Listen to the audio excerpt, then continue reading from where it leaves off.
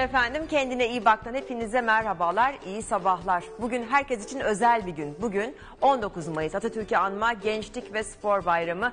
Hepinizin öncelikle bu bayramını kutluyorum efendim. Herkesin sporla aktif, dinamik, güzel bir şekilde bugünü geçireceğini düşünüyorum. Herkes hazırsa kendine iyi bak başlıyor. Saç dökülmesi kabusunuz mu oldu? Dökülen saçlar için ne yapmalıyız? Dökülen kaş ve kirpikler geri kazanılabilir mi? Dermatoloji uzmanı Profesör Doktor Meral Şaşoğlu stüdyomuzda. Yüzdeki, boyundaki, ellerdeki kırışıklıklar için hangi uygulamalar yapılıyor? Gençlik aşısı olarak bilinen GRP uygulamasına dair merak edilen soruları medikal estetik hekimi Doktor Nihat Dik yanıtlıyor. Geçmişte yaşanan ayrılıklar, kayıplar veya mutluluklar bizi nasıl etkiliyor? Ruhsal hafıza nedir? Korkularımızdan nasıl kurtulabiliriz? Spiritüel danışman ve yazar Tuğçe Işınsu anlatıyor. Liposuction sonrasında tekrar yağlanma olur mu? Ultrasonik liposuction'la erkeklerde karın baklavası görünümü nasıl yapılıyor? Estetik ve plastik cerrahi uzmanı operatör doktor Ozan Balık stüdyomuzda. Dişlerinizin şekli veya rengi sizi mutsuz mu ediyor? Çarpık dişler tel takmadan düzelir mi? Gülüş tasarımının detaylarıyla estetik diş hekimi Sonay Öztan Gökhan az sonra kendine iyi bakta. Efendim tekrar merhaba. Kendine iyi bak da kimler var? Hoş geldiniz. Hoş bulduk. Sizi artık seyircilerimiz kendine iyi bak da sizi görüyoruz. Hanım da sizi görüyoruz diye tanıyorlar mı? Değil mi? Evet. Kesinlikle eminim ve bu aslında çok güzel bir şey çünkü Evet. Daha kendilerinden hissetmiyor mu doktorları görünce? daha, seyirciler? daha böyle yakın, daha güvenilir hissediyorlar. Hatta şey de yazıyorlar. Sizlere ulaşamayanlar bana yazmaya başlıyor. Şu sorunumuz var iletebilir misiniz diyorum. Ben değilim şey yapamam veya aslında hiç programa iletmeden bile ihtiyacı olanlara bazen dişmiş yaptığım da oluyor. Ay çok güzel ne kadar güzel çok teşekkür ediyoruz efendim kim bunları yapan estetik diş hekimimiz Sonay Öztan Gökhan hepinizin yakından tanıdığı tekrar hoş geldiniz. Şimdi aslında diş konusunda e, kulaktan dolma mı diyelim inanışlar mı diyelim bir takım aslında Evet. e, garip de de olabilen e, inanışlar var söylemler var. Mesela bunlardan biri ayrık dişli olanlar şanslı olur. Evet çok eskiden hatta bunlara o kadar böyle ilahi bir güçlerinin olduğuna inanılırmış ve e, çok çok önemli yerlere konulurmuş ama tabii çok estetik durmuyor şu anda hastalar çok istemiyor maalesef onu. Evet şanslı olurlar bilmiyorum ama mesela yok sarı diş genetik bizim aileden Evet. bizde herkes sarı dişli. Böyle Biraz bir gerçek var mı? Genetiklik olabiliyor tabii bakımı yerindeyse sorun yok ama Tamam. bazen içilen ye- e, flor oranı yüksekse içme sularında onlarda da biraz daha sarımtırak olabiliyor. E, yöresel olarak Yöresel, da değişik olabiliyor. olarak Evet, değişebiliyor. evet. Var mı mesela özellikle Türkiye'de e, E, bu işte Isparta yöresinin insanlarında biraz daha sarı dişler Hmm. ve hatta e, floru çok fazla aldılarsa daha da kahverengi oluyor dişler. Peki Ve onların tedavisi nasıl oluyor? beyazlatıcı ajanlarla açabiliyoruz. Be- e, beya- diş beyazlatmalarla. Eğer çok çok ileri düzeydeyse, çocukluktan itibaren çok yüksekse bu sefer laminalar, bu kompozit dolgular, bondinglemeler, estetik çalışmalar ortaya giriyor. he, yani işi, adı üstünde estetik diş hekiminden bahsedersek bunun çözümü mevcut diyorsunuz. Evet. Peki çarpık dişlerin düzelmesi zaman alır ben böyle yaşayacağım. Çünkü nasıl olsa düzelmeyecek. Bu da ba- başka bir inanış. Ee, o da bir inanış ama e, düzelebiliyor. Çok zaman almayan tedavi yöntemleri de var. Hakikaten çok ileri diş hekimliği Türkiye'de. E, Veya basit bazen bakıyorsunuz küçük bir müdahale, küçük it- bazı dişler içeride duruyor diyelim ki onun üstüne küçük bir dolgu malzemesiyle o içeride duran dişi dışarı çıkarabiliyoruz. Bir anda görüntü hemen değişebiliyor. Bir yarım saatlik işlemle bile dişi kesmeden, hiçbir zarar vermeden o görüntüyü tamamen değiştirebiliyoruz. Ah yani aman uzun zamandır ben bunu çektim boşuna çektim Boşuna çektim diyenler- diyen o kadar çok hasta var. Değil Ben mi? bu kadar niye boşuna beklemişim diyen. Evet. Hani o korku yemek, sormak bir de şey değil ki yani hani maliyetli bir işlem değil. Sorulabilir. Hekimler bunu çok rahatlıkla cevaplayacaklardır. Ya sorabilir, öğrenebilir. Ha, bir resim atabilir hekimine ulaşamıyorsa hekim onunla ilgili fikir verecektir mutlaka. Evet çok güzel. Yani dolayısıyla bu koltuğa bir oturmak gerekiyor. Oturmak Oturana yeter. kadar. Mesela ben e, mesela bir diş tedavisine gittiğimde bir bakıyorum işte bir saat de bitmiş 10 dakika, Evet. saat 10 dakikada bitmiş. E bitti mi? E bitti bugünlük daha ne yapalım? Evden? e çok güzel. Aynen Aslında öyle. ayıracağımız maksimum süre bu. Maksimum ya yarım saatte 45 dakikada inanın kocaman işlemler yapılabiliyor. Evet. Çünkü teknoloji çok ileri. Yani o kullandığımız eskiden kullanırdık çok yavaş hareket ederdi o cihazlarımız. Ee, Gıy gıy gıy gıy. çalışırdı, Çalış çalışmazdı. çalış çalışmaz. Şu anda o kadar ileri ki dokunduğunuz ya yumuşak doku lazerleri var. Eskiden bıçaklar kullanırdık. Yani bisturi dediğimiz işlemler. Evet. Şimdi yumuşak doku lazeriyle bir küçük dokunuş yapıyorsunuz. Bir anda bakıyorsunuz diş eti tamamen değişmiş.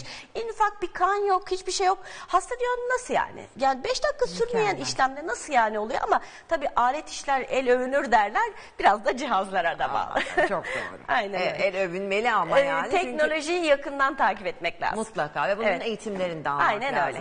Şimdi her konuda gelen bütün doktorlarla da konuşuyoruz. Her aleti, her doktor yani ehliyeti Evet. olmadan, anahtarı olmadan nasıl kullansın? Aynen öyle. Bu iyi araba kullanmaya benziyor değil mi? İyi bir eğitim yani cihazı tanı biz baş, bazen diğer arkadaşlarımızın yerine işlem yapmaya gittiğimiz oluyor. Onun kullandığı cihazı bile tanımadan nasıl ki yeni bir araba alırsınız da Evet. alışmanız süre alır. O burnunu göremezsin kullanırken Aynen biraz onun değil gibi. Yani Tabii. yapamıyorsunuz bir aleti eliniz alışmamış etmemiş oluyor. Halbuki her hekim yaptığı aldığı cihazları çok iyi tanıyıp çok iyi bir şekilde özelliklerini bildiği zaman o zaman yapılan işlem de şiir gibi oluyor. Ay, ne Ben güzel. hep söylerim yaparken diyorlar çok mu yorulmadınız diyorum şiir gibi seviyorum. Hoşuma gidiyor şiir gibi gidiyor. güzel. Öyle söyledim. Harikasınız. Yani hal böyle olunca ayrık dişlerin e, tedavisi olabilir. Evet. Şans getirdiği inanışı olsa da efendim siz yine o dişlerin arasını kapatın. Çünkü görüntü Evet. olarak, estetik olarak Çok güzel bir şey. maalesef. Genetik Ayrı- mi o? Genetik olan da var. Aslında ayrık dişlerde çocuklar niye erken muayene edin deriz. Ee, has- halk arasında duymuştur. Dil bağı vardır. Konuşmasına engel olan bir bağ denir ya. Üstten frenum deriz biz. Şu bağ kısmı var. Eğer o bağ kısmı yukarıdan değil de dişin arasından çıkıyorsa asıl ayrık diş sebeplerinden en önemlisinden birisi o. O bağı pat diye yumuşak doku lazeriyle kestiğimizde ayrık dişin o orta yaş e, grubu dediğimiz çocuklarda 13-14 yaşında bile pat diye oturduğunu görüyoruz. Ay, o ayrılığa sebep olan şey önemli. O Büyüklerde konuşmayı de- etkiler. Konuşmayı da etkileyebiliyor. etkiler. Tabii ki onu da etkiliyor. Dudağı yukarıda tutuyor. Dudak şöyle çok yukarıda duruyor. Tabii. Estetiği bozuyor aslında. Onu duyuyorum kestiğinizde böyle bir şey. e, o frenumu keşke görüntüsünü getirseydin. Çok, Çok basit güzelmiş. bir şey. Pat diye dudak hemen aşağıya inebiliyor. E, hemen estetik değişiyor. O aralık dolabiliyor. Kendiliğinden dişlerin hareket etme gücü vardır çünkü. Evet. O e, gençlik, ergenlik döneminde. İleriki yaşlarda da diyelim ki çok mükemmel ayrık diş geldi. Sebebi tabii o ise eğer o frenulum ise mükemmel dişler yaptınız. Bakıyorsunuz birleştirdiniz. E frenulum oradaysa zaten o yeni açılacak. Açılıyor. Ve hasta diyor ki ya ben yaptırdım bunu 3 sene oldu. Çok memnundum ama açıldı bir sene olmadı açıldı. E sebep ortadan kalkmadan gitmez ki. Sebebi ortadan kaldırdığınız zaman daha mükemmel bir şey olabiliyor. Evet. Peki sebep o değilse? O değilse e, diş çenede yer bulamamış olabilir. Yani çene geniştir, dişler küçüktür, ayrık olmuş olabilir. Tamam. Bu sefer tedavi yöntemlerini düşünmemiz gerekir. Tamam. Ne yapıyoruz? En kolay tedavi yöntemi dişi kesmeden, hiçbir zarar vermeden yaptığımız bondingleme. Tamam. Bonding aslında diş dolgusu demek. Tamam. Dolgu İsmi de maddesini... çok havalı. Bir bonding yapar mı lütfen benim Estetik diş dolgusu demek. Estetik dolgularla o bölgeyi doldurabiliyoruz. Tamam. Doldurduğumuz zaman da normal güzel günlük hayatına devam edebiliyor. Ee, kalıcılığı- Kalıcılığı e, eğer ki e, cila yaptırırsa kompozit malzeme olduğu için porselen kadar dayanıklı değil tabii ki. Tamam. Ama e, iki senede bir bir cila yaptırmak gerekiyor. Güzel bir bakım, Tamam. bir fırçalama yaptırmak gerekiyor. Gayet kalıcı. Bu kadar. Evet. Harika. Şimdi boşluklar kapatılıyor diyorsunuz. Bonding uygulaması yapılan dişlerde peki renk değişimi meydana geliyor mu? Ana dişlerimiz eğer nasılsa rengi o dolgunun rengini de ondan tercih etmemiz gerekiyor. Ama eğer fırçalamıyorsa nasıl ki kendi dişlerimiz kahve, çay, e, tütün ürünleri Tabii. sarartıyorsa onlar da onunla birlikte sararacaktır. Ama bir fırçalamayla normal rengine dönecek. Yani özellikle dikkat edilmesi gereken bir husus yok. Belli bir şey yok. Sadece şu, şu şan hastaları normal dişlerle de yapmamak lazım. Şu şan fıstığı var ya onu Evet. açıp da önüyle bütün dişlere zarar veren onu elle açmak lazım. Evet. Ben de bazen yapıyorum şöyle yan dişle yapmaya çalışıyorum ama lazım. o zarar verebiliyor her şeye. Yani porselenlere de laminalara da onunla kırabiliyor. Peki ayrık dişleri bonding tedavi yöntemiyle tedavi ettik. Peki Evet. bazen bir diş diğerinden daha küçük oluyor, sivri oluyor, uzun oluyor. Onları da aynı şekilde diğer dişe benzetebiliyoruz. Bazen tek dişin üstünde kocaman bir çatlak olabiliyor. O çatlağı bile taklit edebilecek dolgu malzememiz var. Eskiden 7-8 renk dolgu malzememiz vardı. Şimdi 30-40 renk var. İnanılır gibi değil. Bazen diş eti çok çekilmiş oluyor. Hastaya tabii diş eti e, operasyonları yaptıracak hastanın sıkıntısı olabiliyor. Maddi yönü ye- yeterli olmayabiliyor. Bu sefer ne yapıyoruz? O bölgelere pembe dolgu malzemeleri yapıyoruz. Pembe renkte dolgu malzemeleri bile var. Dolayısıyla o bölgede diş etini taklit edecek İnanılır dolgu gibi değil. malzemeleri koyuyoruz. Mükemmel. Ve hastanın hem mutlu bir gülümsemesini sağlıyoruz. Kendi psikolojisi düzeliyor. Güzel gülen kişi dışarıya daha pozitif Elbette. enerji Değil yansıtır. mi? Ay, ne Ee, güzel. ben hep derim eğer güzel gülüyorsa zaten 5-0 önde başlıyor hayat. Çok doğru. Gülümsemek, Aynen öyle. içiyle beraber gülmek çok içinin güzel. gülmesi lazım. Değil Tabii mi? o yalan ama, gülümsememe ama lazım. o dişler de şöyle harika harika. O şöyle, da birlikte olunca mükemmel oluyor. şöyle bir tabii. estetik estetik Gülünce değil mi? tabii, Öyle tabii. mi deniyor? Aynen öyle. Harika. Peki efendim bu çarpık dişler tel takmadan düzeltilebiliyor mu? Ee, tel takmadan söylediğim gibi bu bondingler, laminalarla öyle düzelebilir. Onları düzelebilir. düzelmez. Ama gene bu da çok önemli Tabii bir şey. ki. Peki o tel e, süresi dişin çarpıklığına göre mi Dişin değişir? Standart çarpıklığına, mıdır? kişinin yaşına yani bu ergenlik dönemine yeni tam ergen olmaya yakın çocuklarda çok daha büyüme gelişmeyi de önümüze aldığımız için iki kat hızlı düzelebiliyor.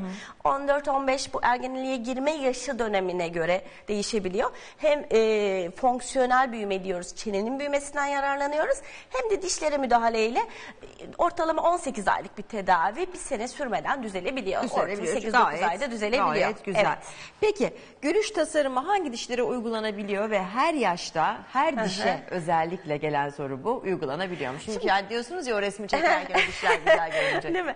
Şimdi gülüş tasarımı ne? Gülüş tasarımı kişiye özel olan gülüşün oluşturması demek. Yani size özel gülüş farklıdır. Benim yüzüm daha şişmandır. Bana olan gülüş farklıdır. Ya tek bir standart gülüş yok. Tamam. Ya estetik sanat birleştirilecek. Bu arada sağlık göz ardı edilmeyecek. Ama kişinin yüzüne en iyi yakışan gülüş meydana Şimdi getirilecek. bu ne demektir? Şimdi gülüş tasarımı deyince seyircilerimize bir şu alt metni biraz daha açalım. Yani güldüğümüz zaman dişlerimizin ve diş hattımızın Diş eti çok görünmemesi gerekiyor. Çok görünmeyecek. Dişler göründüğünde şuradan 2-3 milim görünmesi gerekiyor Ha. güldüğünüzde. Arka bölgelerde şu kısımlara kadar o iki küçük azı dediğimiz o 10 diş görünmesi gerekiyor. Dudağımızın alt diş dudağıyla dişlerin kenarıyla alt dudak kenarının birlikte olması gerekiyor. Ve şöyle bir elips oluşturması lazım. Şöyle oluşturması lazım. Yani arka dişler daha aşağıda, ön dişler yukarıdaysa bu gülüş güzel olmaz. Şöyle bir gülüş oluşması gerekiyor. Yani güldüğünüz zaman şu inciler böyle Aynen gözükecek o orada. şekilde olduğu zaman hakikaten ağza yakışıyor, çeneye ve yüze yakışan bir gülüş meydana gelebiliyor. Harika gerçekten bu e, çok güzelmiş. Bu gülüş tasarımının da ne demek olduğunu biraz daha anlamış olduk. Lamina uygulamasının bonding uygulamasından farkı nedir? Bu da çok duyduğumuz bir uygulama. Şimdi laminada dişleri minimumda olsa biraz kesmemiz gerekebiliyor. Ve di- e, dışarıda yapılan takma tırnak örneğini veririm ben. Takma tırnak gibidir lamina. Lamina dişin yüzeyine dışarıdan başka bir yapılır por- e, yapma porselen e, deriz biz bunlara. Tamam. İnce porselenler 0,3-0,5 milim kalınlığında ve dişe direkt yapıştırılır. Bunlar ışığı çok geçirgendir. Dolayısıyla çok daha estetiktir. Ama dişten birazcık da olsa madde kaybı yapmamız gerekebilir. Gerekiyor.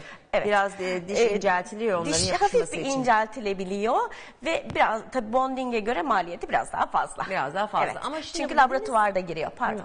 Çok pardon. Laboratuvar da işin içine Evet, girdiği için. evet. Ha, diğer bondingde Sadece dolguyu orada siz doktora yapıyorsunuz. ait ve bir belli bir malzemeyle yapılıyor. Onda ise laboratuvar işleri olduğu için e, biraz daha maliyeti artıyor. Yani o dişe kaplanacak o yaprak laminalar gidiyor. O dişe göre ayarlanıyor, bir tasarımı yapılıyor Tasarım. kişinin yüzüne göre, getiriliyor ve tekrar yapıştırılıyor dişin yüzeyine yapıştırılıyor. Peki buna kimler ihtiyaç duyar? Şimdi ayrı kısa dişler bazen hasta diyor ki ben e, her şeyi yiyip içmek istiyorum. Çok çay kahve ve sigara içerim. Ben bunları e, çok iyi cilalayamam, çok iyi bakamam. Po- Bu laminalarda olağanüstü bir ışık geçirgenliği Çok var. güzel. Yani Dolayısıyla normal hiç dişe çok sararmaz. yakın. Hiç sararmaz. Bir de. Aynen önemli. öyle. Işığı geçirdiği için çok estetik görünür. Özellikle bu spot ışıklarına falan parıl parıl parlar. Dolayısıyla tabii ki e, bunun parlaklığı Öyle ve güzel estetiği daha farklı. koşarak gidip lamina taktırıp estetiği ve parlaklığı daha farklı olabiliyor. E, ve o tasarımda daha güzel bir gülüş oluşturabiliyor. Bu da harika. Lamina'nın da birazcık daha farklı bir e, boyutu Evet. olduğunu da seyircilerimize anlatmış olduk. Ama bu gülüş tasarımı her ne olursa olsun her yaşta, her cebe, Evet. her kişiye göre uygulanabiliyor. Uygulanabiliyor. Siz yeter ki isteyin. Ya yeter ki isteyin. Bazen geliyor hasta aslında sarı kötü görünüyor diyelim ki basit bir şey görünüyor. Güldüğünde diş eti çok görünüyor. Ben diyor hiç dışarı çıkamıyorum, gülemiyorum. Güldürüyorsunuz. Konuşturduğunuz esnada aslında ne istediğinizi anlıyor. Ben konuştururum boş boş. Tabii. E, Bakarız neyi var acaba? Gülerken neyi var? Diş eti görünüyordur fazla. O diş etinin 10 dakika sürmez. Yumuşak doku lazeriyle kestiğinizde en kolay örneği Kemal Sunal gülüşü deriz. Hani güldüğünde o tabii apayrı bir karakter. Onun onunki gibi diş etlerini Sevgiyle, kestiğinizde aynen öyle onu anıyoruz. her zaman.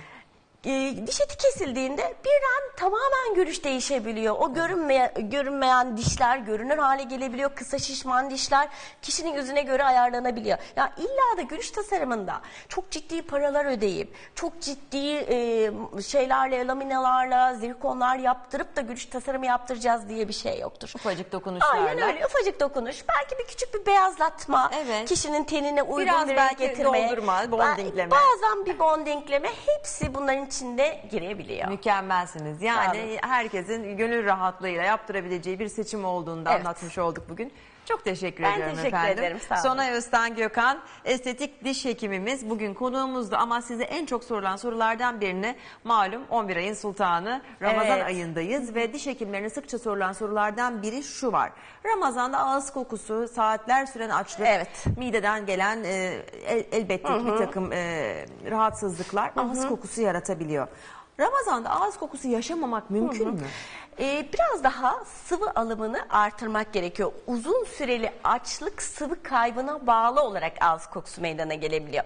Eğer çok iyi sahurda özellikle çok iyi bir şekilde fırçalama, diş aralarını fırçalama, diş ipi, dil fırçalama. Çok Dilimizi önemli. fırçalayacağız, yanaklarımızı, dilimizi onu fırçalar isek, sıvı alımını artırırsak, çay, kahve, kola gibi ürünleri biraz daha az tüketirsek bunlar niye çok fazla yapıyor? Bunlar diüretik yani idrara çok çıkarıcı. Dolayısıyla vücuttaki suyu azaltıyor gündüz.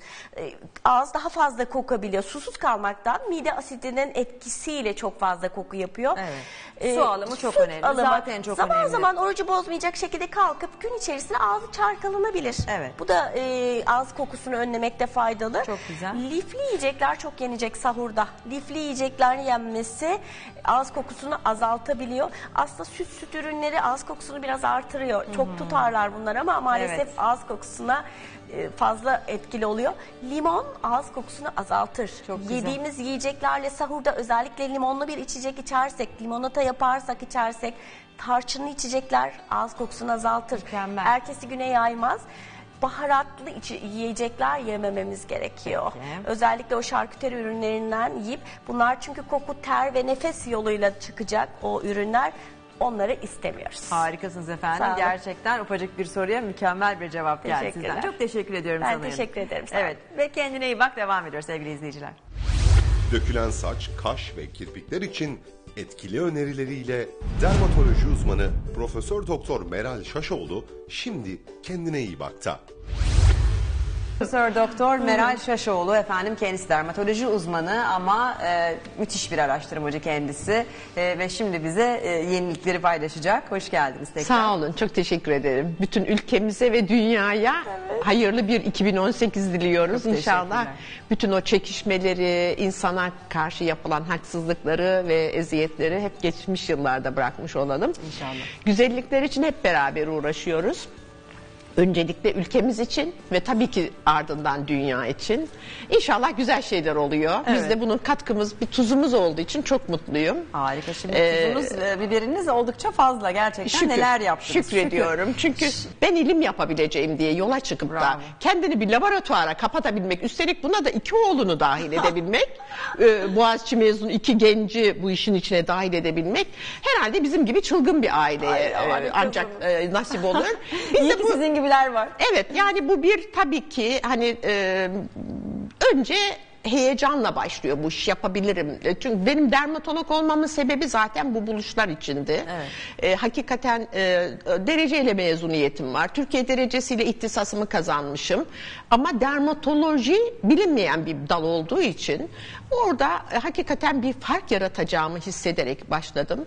Ve gerçekten de 1995 yılında bir haftada 3 tane uluslararası birincilik alınca tamam dedim doğru yoldayım. Hangi konudaydı aldığınız? Onların bir tanesi e, Behçet hastalığında bir buluşumdu. İki tanesi de bu ginkgo biloba eskiden Çin tıbbında Evet. kullanılan ginkgo biloba'nın dünyaya iki etkisini duyurduk. Birisi güneşten koruyucu etkisini, birisi de antioksidan etkisini. Çok değerli bir Bu çok, çok önemli ve e, e, evet e, hayvan deneyleriyle de bunu kanıtladık ve bir haftada sürpriz bir şekilde e, üç ayrı yerden birincilik geldi bir hafta içinde. Bu çok önemli bir şeydi tabii bizler için. Sizi hani ben kendi kendi yaptığım işlerin farklı olduğunu biliyordum çünkü farklı çalışıyorum ama hani e, dünyadan da böyle bir kabul görmek tabii ki hoş bir şey. Ardından da karar verdim. E, her şeyi geride bırakıp e, bilime, ilime ve laboratuvar çalışmalarıma e, ağırlık vermek üzere çok güzel bir araştırma laboratuvarı oluşturmam lazım.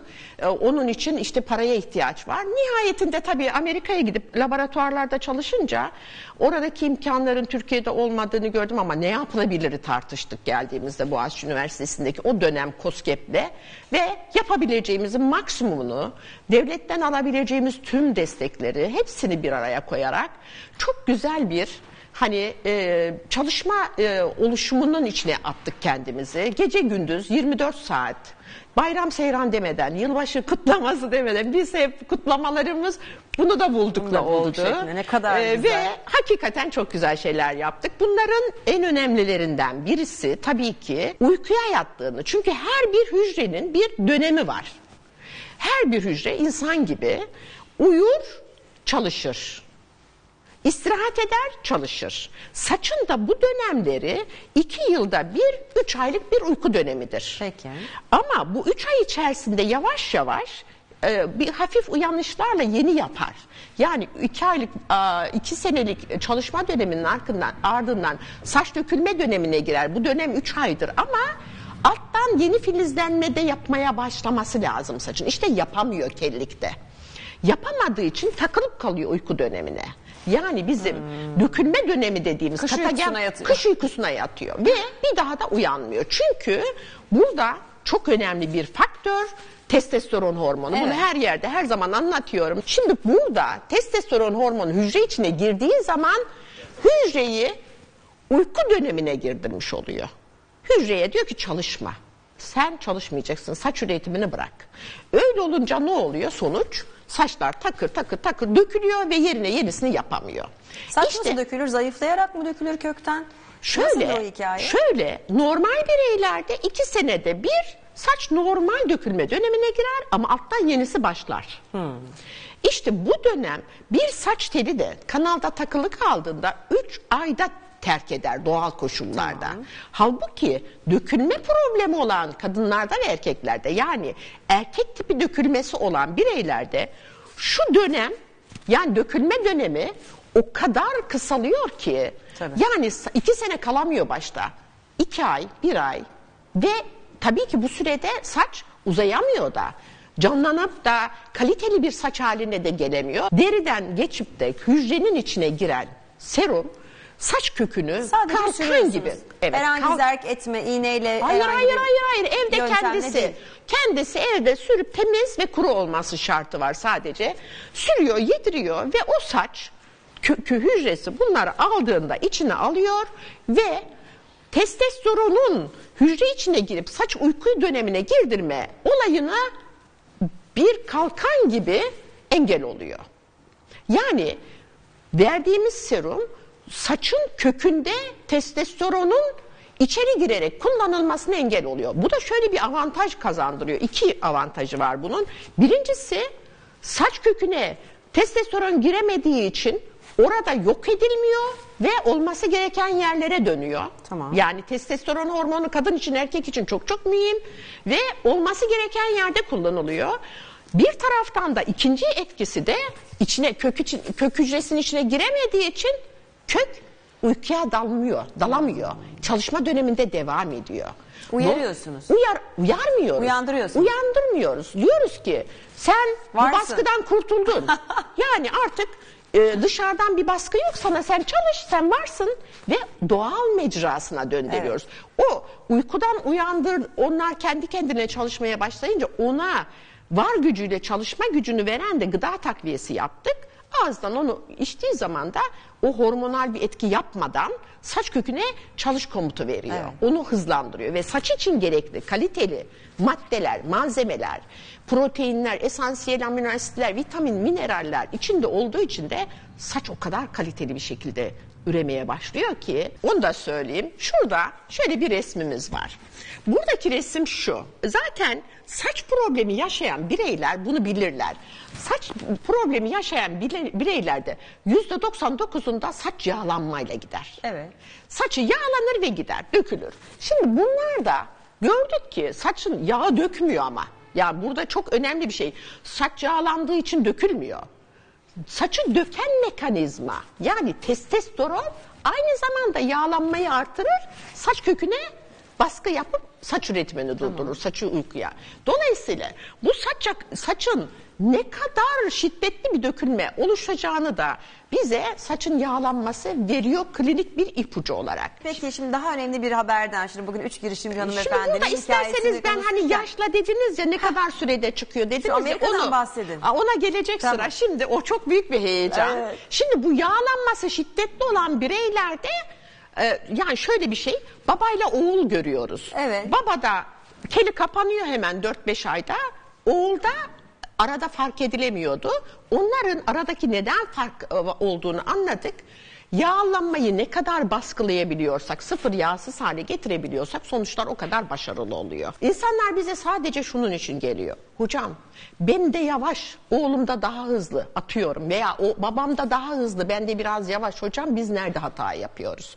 Bakıyoruz yağlanmayı tam baskılamadıysa cevap yavaş gidiyor. Yani şuradaki şu mesele. Eğer bu yağlanma tamamen durmuşsa burada da testosteron demek ki hücre içine giremiyor demektir. Testosteronun içine giremediğini yağlanmanın durmasından anlıyoruz.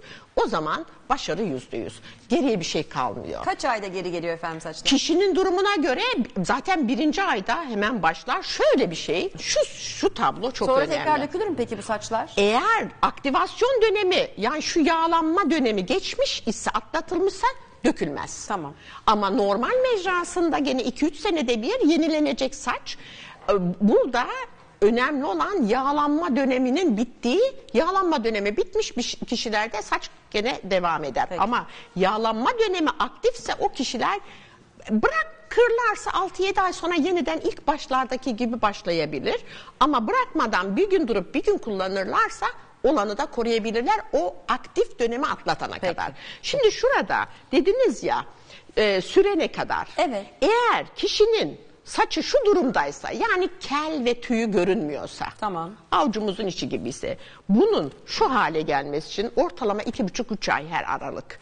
Üç ay desek en kötüsünü. Üç, üç, üç, altı, dokuz. Ama bu süre eğer şurada bakın damara yakın. Evet. Bu süre eğer 10 yıl 15 yıldan düşükse 9-10 ay evet ama 30 sene ise bunu biraz daha uzatmak gerekebiliyor. Minyatürize oluyor hücre. O hücrenin yeniden olgun dönemine girmesi için belli bir zamana ihtiyaç var ve damarla buluşabilmesi için. Yani şunu söylüyoruz. Burada şu damar alabiliyor muyuz? Tabii. Şu şu kök bakın yüzeyselleşmiş kök gibi, kök gibi değil artık bu.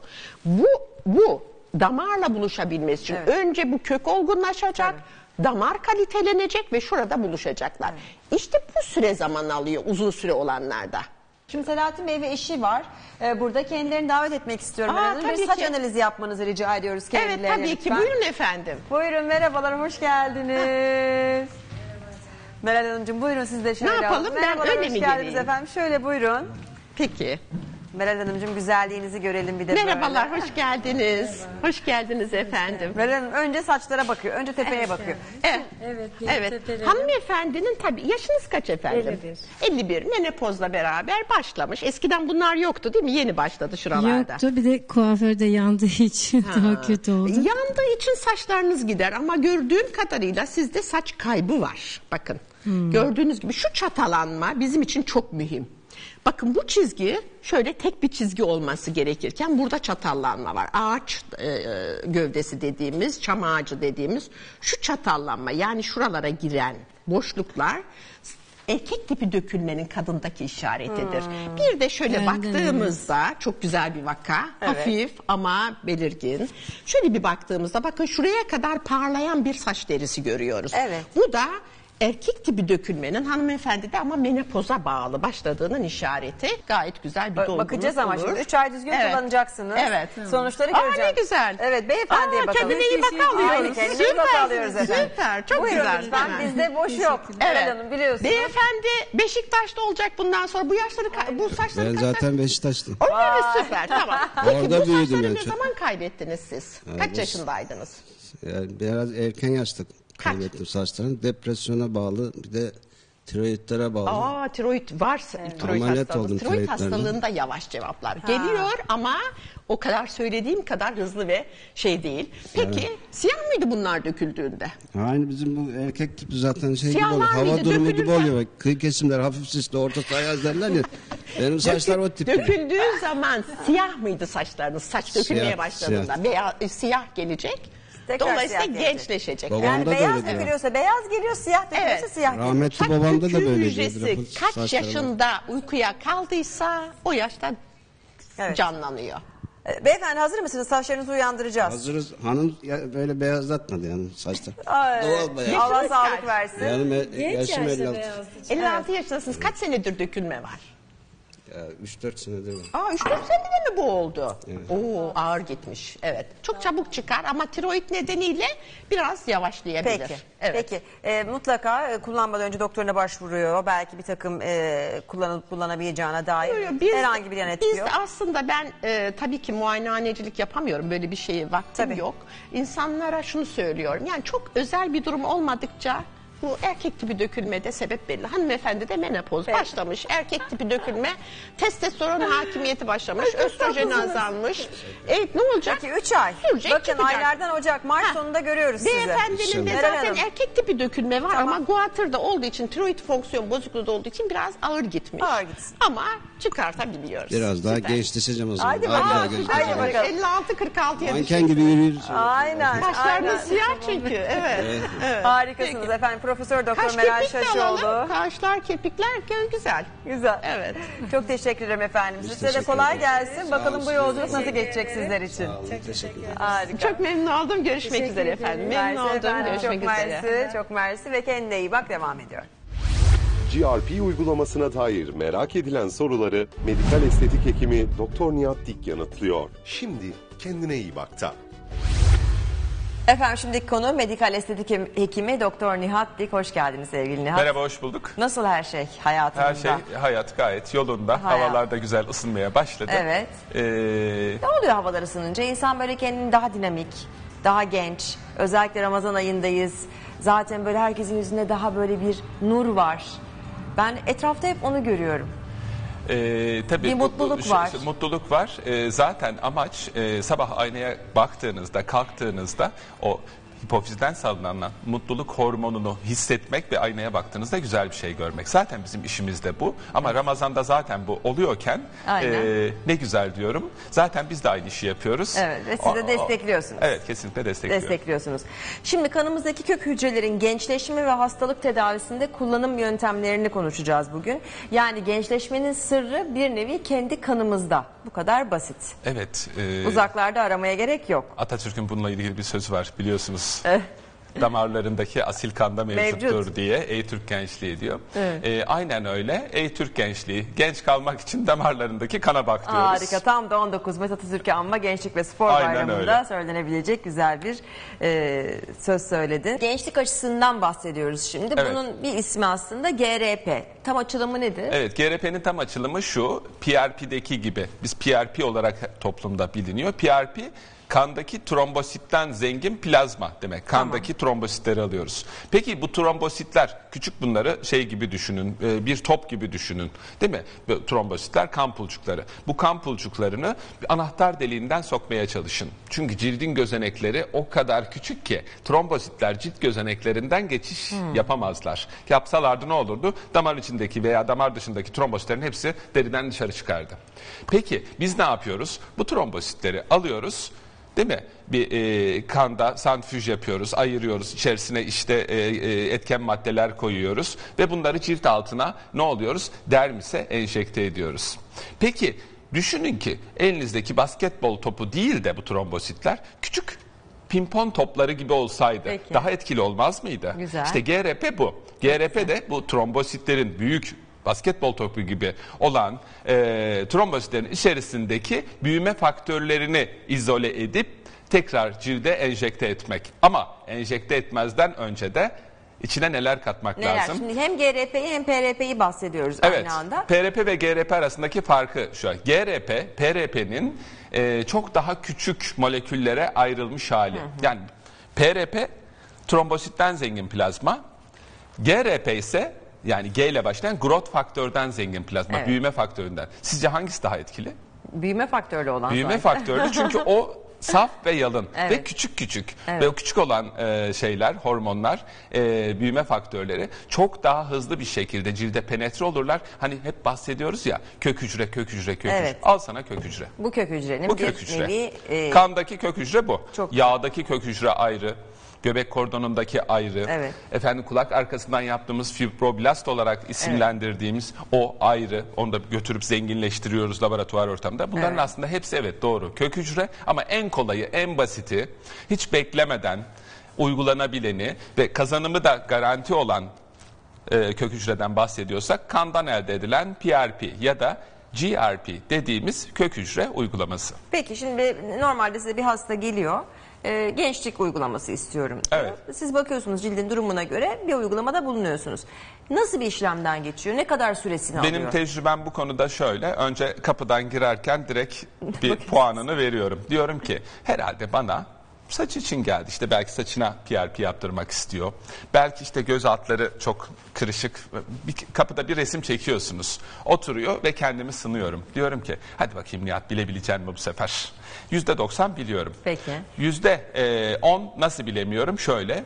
Hastanın mesela saçı dökülüyordur. Onu güzel böyle kapatmıştır ama ben göz altındaki halkaları görmüşümdür. Göz altı halkalarından e, ya bunlara bir kök hücre işte gençlik aşısı falan gibi bir şeyler yapar mısın diye beklerken o saçını göstermiştir. Peki. Ha demişimdir ki bunun saçı dökülüyor. Onu zaten bilemem. Yanılma ihtimalim az diyorsun. Ama kapıda resmi çektiniz. Geldi hastanız oturdu şikayetlerini de anlattı. Genelde genelde ya bakın yüzle ilgili e, eğer ki gençlik aşısı e, isteyecekse bir kişinin ya gözaltı torbaları veya üst göz kapağı sarkması vardır.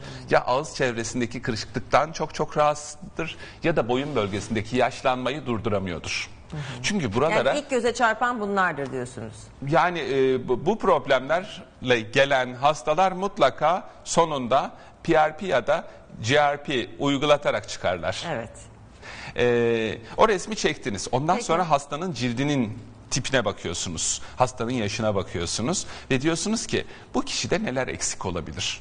Biyotin mi eksik, çinko mu eksik, magnezyum mu eksik, hyaluronik asit mi eksik, somon DNA'sı mı eksik? Efendim ne eksik? Bunu bir kontrol edin. Tırnaklarına bakıyorsunuz, göz diplerine bakıyorsunuz, derinin karakterine bakıyorsunuz, yaşına bakıyorsunuz derinin. Buna göre eksik olan şeyleri yerine koymanız gerekiyor. Şu an bir işlem yapıyorsunuz burada. Hanımefendi ne kadar mutlu görünüyor biz bu, bu işlemi yaparken. Evet. Nedir bu? Bu GRP gençlik aşısı uygulaması Evet. var burada. Ekran e, şeyi e, ne deniyor Yüzüyseniz. ona? Eğer ekran yüzüyseniz ve ekran makyajı yapmak zorundaysanız cildiniz yıpranıyor. Niye? Nefes alamıyor. Hem ışık kurutuyor. Yine İzmir'deki Antalya bölgesindeki sert güneşin, Kıbrıs'taki sert güneşin cildi kurutması gibi bunlar da çok çok sıkıntılı. Evet. Ultraviyole A, B, C bunlar hepsi Evet. yayıyorlar. Allah'tan kullanılan artık e, ürünlerin Evet. içerisinde koruma faktörleri Koruma faktörleri var. Onlar başladı. sizi koruyor ama cildiniz nefes alamadığı için Tabii. de cildiniz yıpranıyor. Botoks da yaptıramıyorsunuz. Çünkü düşünsenize botokslu bir sunucu, botokslu Evet, bir spiker ifadesiz olmuyor. bir Hadi yine olmuyor. botoks spikeri yapıyoruz. E, botoks spikeri diyorum. Spiker botoks Spiker botoks oluyor değil mi? Evet. Spiker botoksu yapıyoruz. Ama hiç botoks istemeyene ne yapabilirsiniz? Hiç botoks istemeyene gençlik aşısı Olabilir. yaparsınız. Doğal, doğal olmak Doğal. isteyenler de çok fazla. Çok öyle çok insanlar var. Hiç botoks istemiyorum de- dendiği an hemen cebimdeki kartı çıkartıyorum koyuyorum. Buyurun Diyorum GRP. ki buyurun size GRP Çok gençlik güzel. aşısı yapalım. Çünkü gençlik aşısının içerisinde botoksun yapamadığı her şeyi yapabilecek olan da var. Botoksun yaptığını yapacak olan doğal botoks etkili Mükemmel. albümin yani e, proteinler, peptitler de var. Ve bunları düzenli yaptığınız zaman 2-3 hafta arayla ya da 1 ay arayla yaptığınız zaman botoks efektini, botoksun sağladığının hepsini sağlıyorsunuz. Üstelik botoks تجي كان bu kazandıklarınız kalıcı oluyor. Kalıcı oluyor. Aynen öyle. Ee, 10 gün arayla ya da bir hafta arayla dediniz. Kaç seans öneriyorsunuz? Genelde ilk e, ben yoğun bakım tedavisi söylüyorum buna. Yoğun bakım tedavisi 3 seans arka arkaya yapılır. Sonra 3-4 ayda bir Arka uygularsınız. Yani Bir hafta arayla. ya 2 hafta arayla ya da 4 hafta arayla Tamam. yaparsınız. Cildin ihtiyacına göre. Cilt Tamam. çok yoğun bakım istiyorsa 2 hafta arayla yaparsınız. Şimdi neden soruyorum? Çünkü mesela şimdi düğün dönemi gelecek Ramazan Ha. bayram sonrası e, bu yaz bayağı e, vardır tahmin ediyorum. Hani 6 hafta öncesinde cilde en etkili şeyler yapılmalı ki hemen düğün öncesi özel bir gecenizden 2-3 gün önce yüzünüze lütfen üst üste ürünler kullanmayın, kullandırtmayın, oynatmayın. Çünkü hassaslaşır, cilt kusabilir, cilt yapısı değişir. Aynen öyle. Bunlar Ben iki çok ay önemli. önceden başlıyorum. İki ay. Çünkü Ha, iki ay altı önceden hafta, iki hafta. 8 hafta önceden başlıyorum. İşte e, gençlik aşısı mı yapılacak? Tamam. Fransız askısı mı yapılacak? Bunların hepsi 2 ayda süper oturuyor. E, diyorsunuz ki bu güvenli bir uygulama. E, hangi durumlarda hangi bölgelere uygulanabilir diye bir önemli soru Ee, var. Gençlik aşısı e, söylediğim gibi özellikle şimdi gözaltı için bu gözaltı kırışıklıkları ve morlukları için özel gözaltı mezoterapisi denen çok özel bir e, peptit yapıda bir mezoterapi var. Bu gözaltı ışık dolgusu yapılıp da komplikasyon olanlar veya yapılamayanlar veya ben gözaltıma dolgu istemiyorum diyenler için Peki. göz altındaki kırışıklıkları, morlukları gidecek elimizde yeni bir e, Anahtarınız e, var. anahtarımız Peki. var. Bunun adı gözaltı mezoterapisi. Özel bir ürün kullanılıyor. Ee, bu özel e, ürünün içerisinde protein yapıda kök hücreler var yine. Geçtik indik aşağıya doğru. Ağız çevresi çok yaşlanır. Bakın yüzünüzde 3 tane büyük delik var. İkisinde gözümüz var, birinde ağzımız var. Bunların etrafında oplik kaslar var. Oplik kaslar zaman ilerledikçe sıkmaktan dolayı değil mi? Bunlar yuvarlak kasılıp açılıyorlar. Ağız da öyle. Gözler de öyle. Yuvarlak açılıp kapandıkları için bu bölgedeki deriyi çok kırıştırırlar. Hele eğer ki güneş yaşlanmasına da maruz kalıyorsanız ağız ve göz çevresi çok hızlı yaşlanır. Onun için ikinci noktamız ağız çevresi. Ağız çevresinde de yine bu gençlik aşımızın içerisine hyaluronik asitler, somon DNA'lar ve eksik vitamin, mineraller ve proteinler katılarak çok güzel bir terapi 3 seans yani yapılır. dudağın kendisine değil dudak çevresine. Dudak çevresi, dudağın kendisine ona dolgu yaparsınız, dolgunlaştırırsınız. Ama dudak çevresindeki o kırık noktaları dolguyla düzeltmeye kalkarsanız Özellikle o kötü tiryaki kocaman şöyle bir dudak olur. Dudağınız şişer o kırıkları, çizgileri düzeltmek Tabii. isterseniz. Onun için oralara gençlik aşısı Çok uygulamak güzel. Gerekiyor. İndik biraz daha aşağıya boyun, Boyun. bölgesi. Boyun bölgesi özellikle şu bölge çok hızlı yaşlanır. Çabuk kurur ve kırışır ve sinirleri bozar. Kurur. Çok enteresan. Kurur. Neden?